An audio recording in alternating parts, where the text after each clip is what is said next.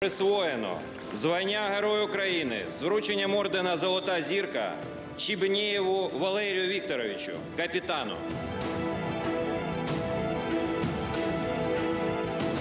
Вже штук 20 пролетіло. سرهنگ والری چیبینیف 34 ساله در جریان جنگ اوکراین در شهر گاستومل در نزدیکی کیف کشته شد.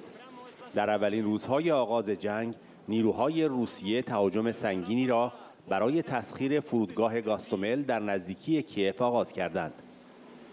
شهردار گاستومل طی بیانیه‌ای گفت سرهنگ والری چیبینیف به همراه نیروهای اندک خود چندین روز در فرودگاه گاستومل در مقابل نیروهای روسیه مقاومت کردند و سرانجام همگی در دفاع از استقلال میهن جان خود را فدا کردند.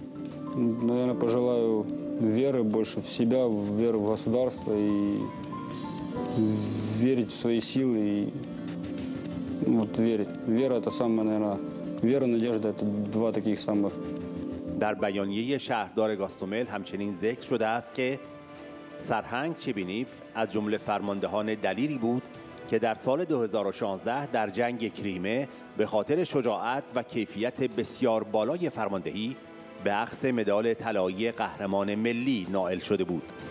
Підозрював про почесну нагороду. Відтак не встиг попередити і дружину. Оксана про це дізналася лише з трансляції параду.